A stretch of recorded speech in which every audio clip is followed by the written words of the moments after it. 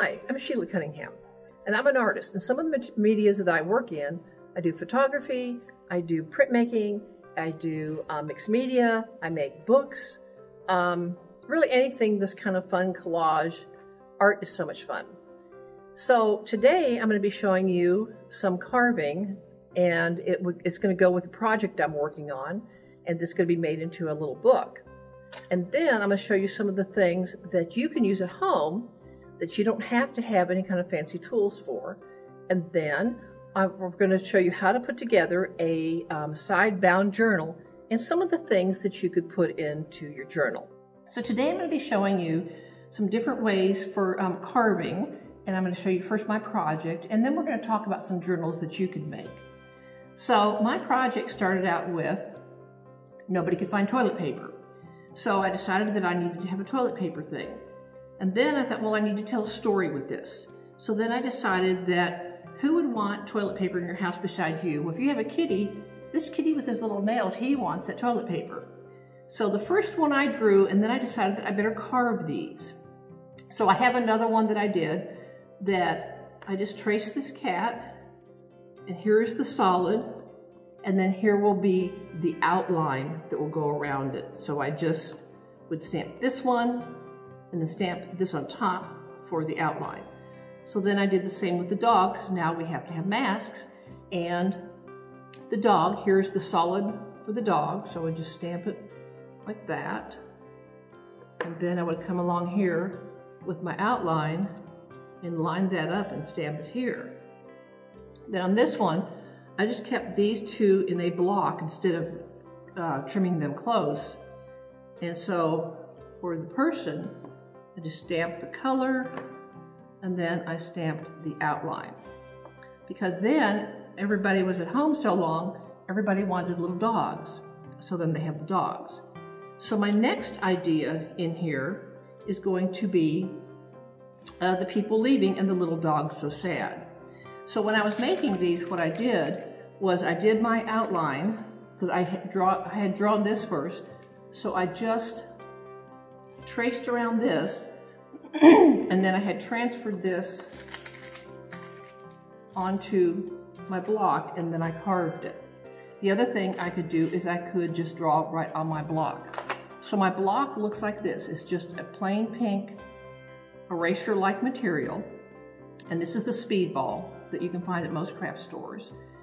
And uh, let's get some of this out of the way for now.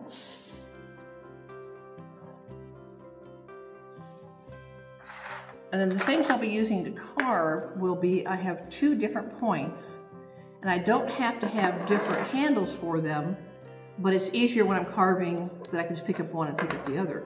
But if you buy a set, usually they come with, inside the handle, they have the different um, cutting tops. And they all do something different. So this one is a narrow V. This one is a little, this might be the same one. This is a um, narrower but deeper. And this one is a little bit wider, but a little bit bigger than this one. And this one is just the knife. And then this one is the big, uh, is a bigger gouge, so you can get do larger spaces. And then you can just save these right in this handle, and then you can just um, switch them out. But if you're gonna be using this one, then this one, then this one, then it's easier if you have two handles.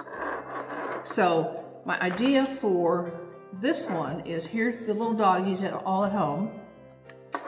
And then I'm gonna have the person running off to work with his little briefcase. Her, she, her or she, she or he or she. Oh, crap. so the person is running off to work with their briefcase.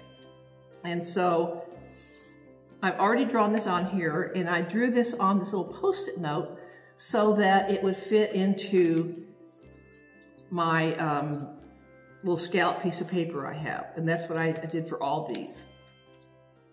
So, and I cut this so this would be the exact same size. And it was very easy to cut with an X-Acto knife.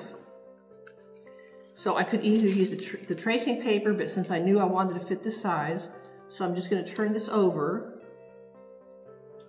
And I just drew on that with pencil. And I'm just going to take my nail and I'm just going to rub the back of it. And you can see how it's already transferring.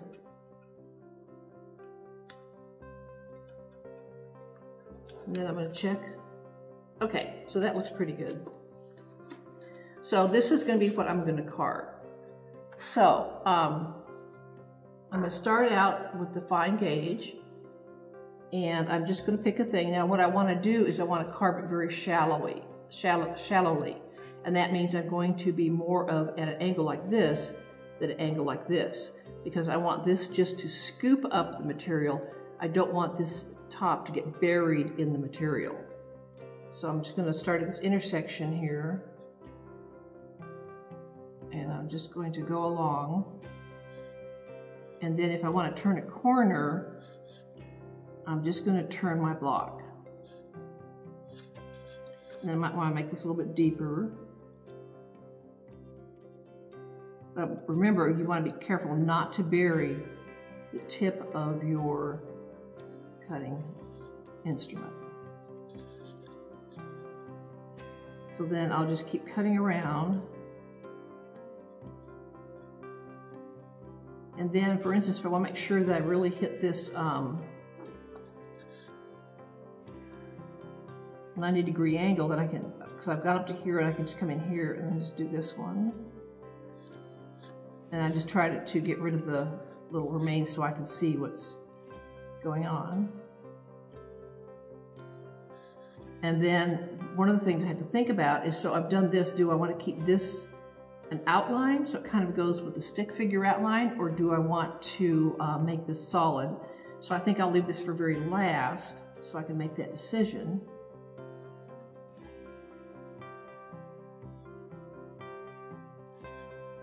And then I'm gonna come up here. You can see how this collects. It's not as, pro as much problem on the other grooves, but this is a very narrow one. Uh, these just kind of want to stay in there. And then I can't really see what's going on the next time I carve.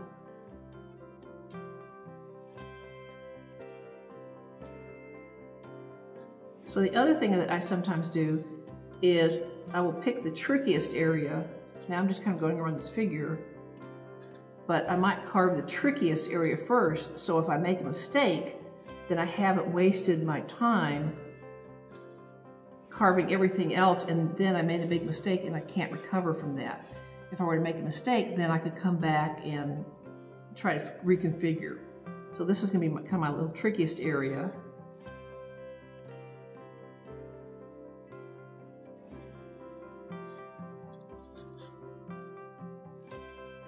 So I've got the hand, trying to hold that handle. Okay, so um, let me go ahead and finish going around him. Or her. Person.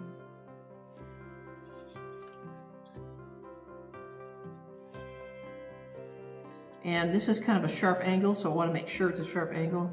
So I'm coming in here and I can already see that I went a little bit past that line. So I'm just going to have to pick up and make the leg maybe a little bit lower than I had intended.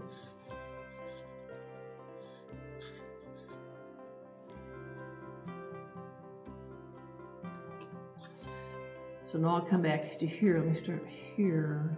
And I can see that this is a little bit lower. So I'm going to come a little lower here.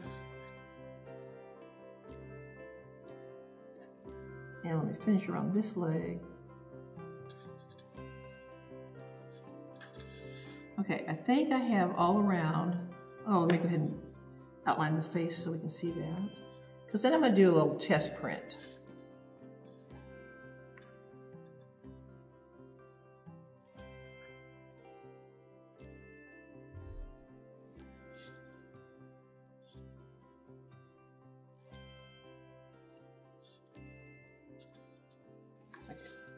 Have all my little shreds off of there, except for here at the mouth. Okay. So I'm going to go ahead and test this now to make sure that it um, that I've kind of started where I wanted to. Usually I won't test print until I do a lot more of this.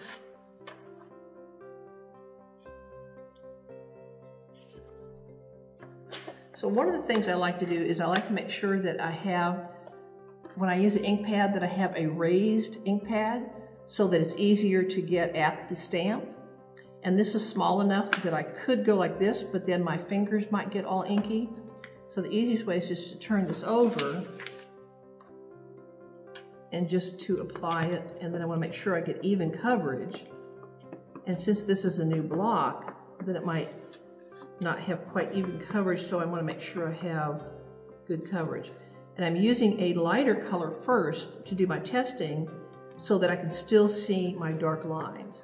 So you can still see my dark lines, so if I, when I come back to finish my carving, I can see what's going on and I haven't covered it up with the black ink. and I can see all of that, so I'm going to, and then if my pieces were a little bit bigger, even bigger than this, I could use a brayer and some ink. But this, the, but the ink pads are really easy to use. So I'm just going to stamp that. And I want to make sure that I, I do some even stamping, even pressure.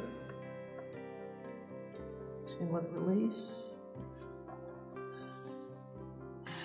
And so you can see my face in here, it looks a little weird. So I can come back in here and I can see what areas I need to do. I want to have the body be a little slimmer. I can come back in here and trim that up a little bit.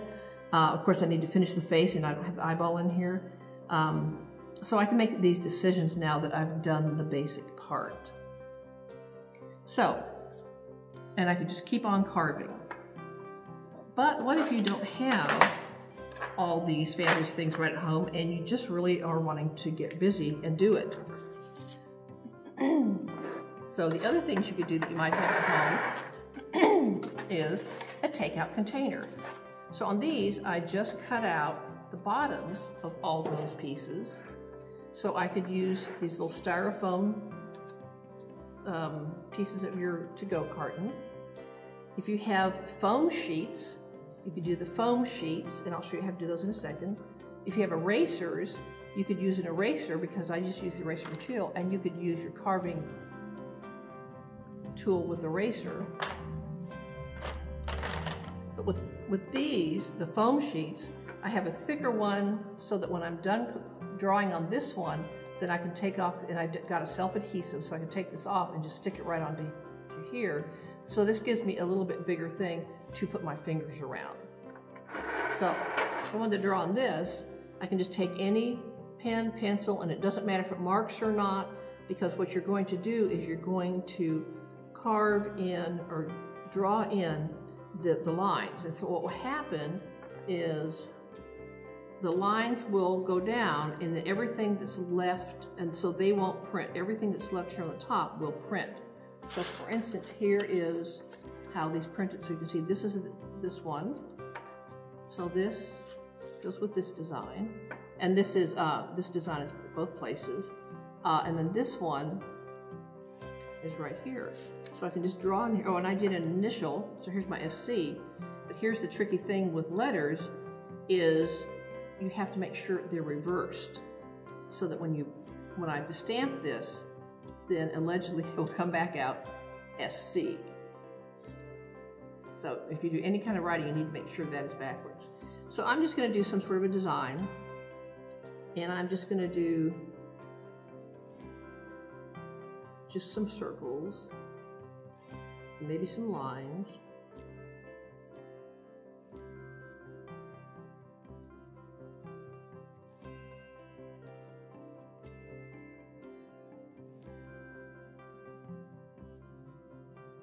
I was using an old pen, and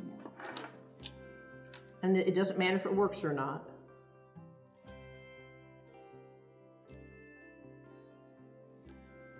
because I'm not really caring if it leaves a mark, all I'm caring that it leaves a dent in the foam.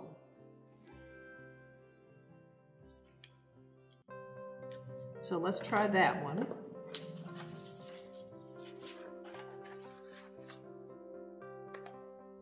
And this is going to be a little trickier because I don't have it on a handle yet.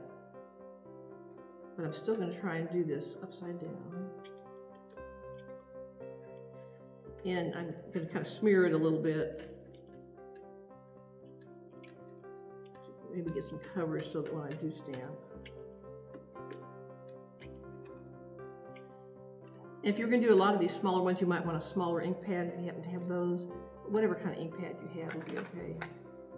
So you can see where the red will print and everything, the, the pencil and the uh, other line will not print. Again, I want to make sure I do even coverage. I'm just going to get it, let kind of release. So I have that kind of a design. And these are very easy. And then once you're done and you like it, uh, be sure and wash it off. And then I can just adhere this to this and then, then this will give me, the, remember, the little handle to make it easier. The other thing I can do is if I have bottle caps, which of course we're all recycling, so you have bottle caps and you have shapes, you could cut your own shapes also, and you can put those uh, on the bottle cap and that gives you a really nice handy um, handle then to do the stamping with. And this one I can just tap it myself and I want to just double check and make sure that I have good coverage. And just press it down and release it. And then I could put these together and I just have to look and see, okay, so I have my, I match those two together. So I can make a whole design just using the different shapes. Okay, so we have all these fun things, but we need to do something. So I'm just gonna move this stuff all out of the way.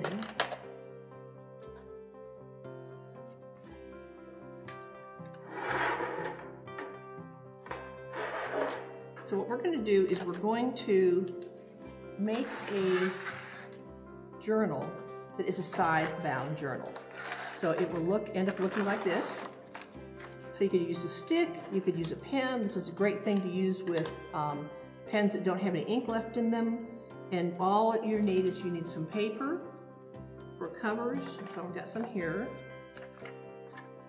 So I've got my um, cover front and back. And if you have paper, uh, that'd be good. If you have some sort of interesting catalog or um, magazine or something that has an interesting cover, you can certainly cut that out or you can cut that out and glue it onto here. And then I have my pages inside and then I've got a paper clip to kind of hold everything together so I can see through these holes. So before we put this together, let's talk about cutting the holes. So what I like to do is I like to make sure that they are like at least a half an inch-ish from the side so I don't get too close to the edge that would rip it. And so basically I either kind of, I can measure it or I, with a ruler, or I can just with my finger, just kind of eyeball it from the top about an inch in. So I figure an inch in, and that's two of my fingers. So I cut these, and now I can do one of two things. I can either use this for the template, and you can sometimes, if you're careful, cut a couple pages at a time. Don't try to cut too many. And I can line these up and then I can get my punch. And remember, this is the part that does the punching. So you want your paper to go in here between the little L bracket and the bottom. And I'm just going to look and see where that punch is. I'm gonna try to line that up the best I can with that hole and punch it. And that's super easy. But sometimes if your paper's too thick, you might not wanna do that. So the other way to do that is I could line this up on my paper. Let me just get a few sheets here.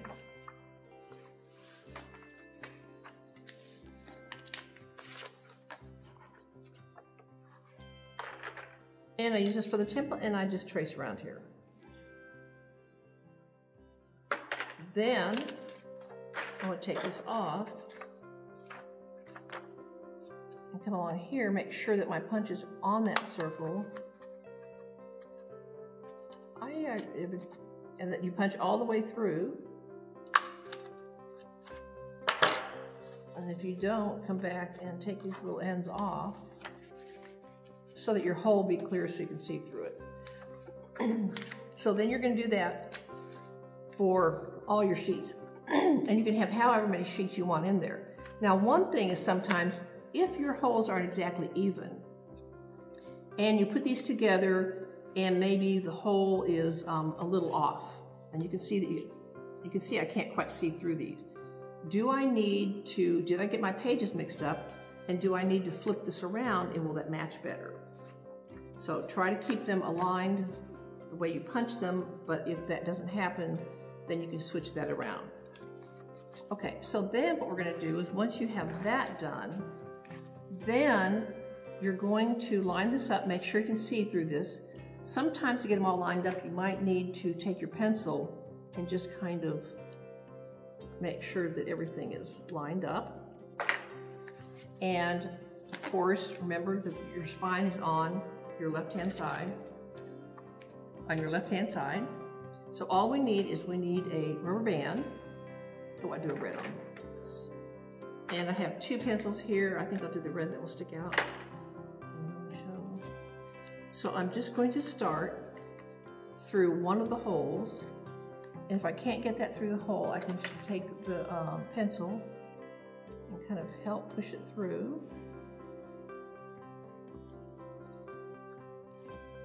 And I don't need to push it through very much. And then I'm going to put the stick or the, um, any straight object really. I'll put this through. And then I'll come down to this end. I'll have to stretch this. You might need help with this because sometimes this takes more than your two hands. You might need four hands. And I'll stick this through. And you can see how easy this is. okay, get help. Um, okay, so I have it coming through here.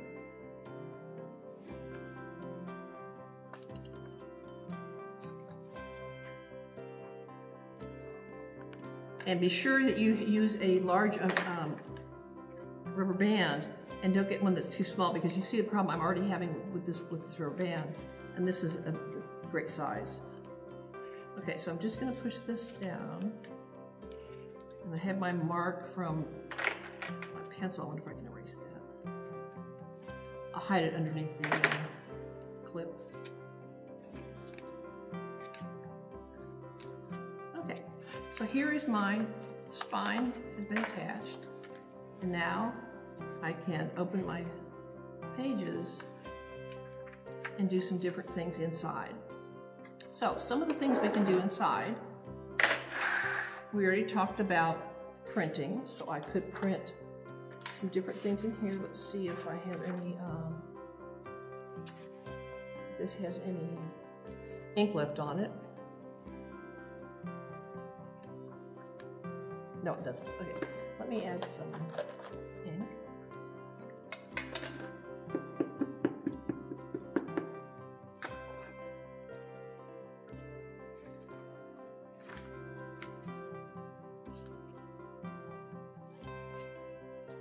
So I needed better, better coverage here, but you get the idea. So, and I could leave it like this. I could stamp some other things around here. Uh, I could write a story why is this person running? Why is he running with this case? What is going on? So I could write my whole story here. If you have some of the foam shapes that you didn't use for, uh, for a stamp, here's a giraffe, and I did a very quick little drawing. Where does this giraffe live? And what's going on with that? So then I have all these other pages that I could do things with. So one of the other fun things you can do is work with the visual alphabet. So there's a guy, uh, Dave Gray, and he does a lot of things with businesses, and he talks a lot about doodling for businesses. And he made this little scale. And when you think about it, everything you draw can be made with these shapes. So if I'm doing a face, then pen out. So my face is just um, so you can say I'm just starting with, with the oval or a circle. And the eyes would be the eye shape. Or you could consider that two arcs. And the nose could be an arc. And then I could add little nostrils, which would be the point or a dot. And the mouth could just be an upside down arc. And then for the hair, I could do like a cloud shape. I could also do loops or spirals. So here I did kind of both. So the bangs are like little loops. And maybe the hair is really curly, so I'll do some little spirals. And then if I want to add a neck, just two lines. So you see how this is so super easy. The other thing, this is super, super easy, donuts, and they're super easy to eat. Uh, just two circles, inside and outside circle.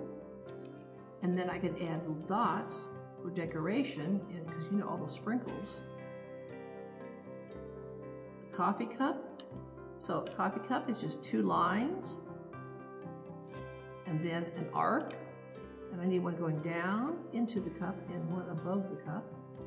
And then I'm gonna have some sort of liquid. Well, what goes with donuts? Well, I think I'm gonna have some hot chocolate, so I will just draw a little arc here, and I'm just gonna draw this in and color in. So Here's my hot chocolate. And then I'm gonna have a saucer, which is kind of a combination between some arcs on the two sides, or you can sit, consider it the oval that I started here, but I didn't go all the way through the cup. So I'm gonna start the oval, and then I'm just gonna pretend like it goes behind here.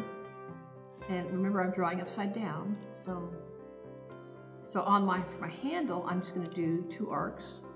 A bigger arc and then the inside arc. Oh, I need a, I've forgotten something, so I need an arc from the bottom of my cup. So just using those simple, simple shapes, you don't have to worry about you can't draw. Okay, you can use simple shapes and anything that you could draw is made out of these kinds of shapes. So that would be a very fun thing to add into for one of the pages of your book. Then the other thing that, that, that uh, Dave Gray talks about, and he, he, he, has books that you guys can check out. So um, he talks about these drawing people, and they filled in like the feet and the hands and the head in you know a body shape so that you can kind of see them. And what he likes to do is he likes to do this visual journaling. So when you're drawing the people, then you have um, different motions. Are they running? Are they standing? Which way are they running? Uh, how would your arms and legs move? So if you're throwing the spear, then you have your hand up. How does that, that arm, this one bends back. Usually the one in front is going straight. Are your legs bent? Are they bent as much as if you're running, like these people running? How, what is happening with your body and your, your uh, motions with your body? So here I have a little diary-like. So here's kind of my person running. And so here's, like when I came here today, I got in my car, I brought my bag of supplies in, I'm sitting at the table, and they're filming it on the phone. when I leave, I'll get my bags of stuff, go back to the car, I might go to the grocery store, and then I'm going to get some fruits and vegetables. So this could be like a diary of what I did today. So that also could be one of the pages in my book. Uh, and I could draw that in my book. You see here, if I was going to actually put this in my book, I'd need to make sure that this was further over here so I'd have room for my holes. So those are the different things that you could put in your journal.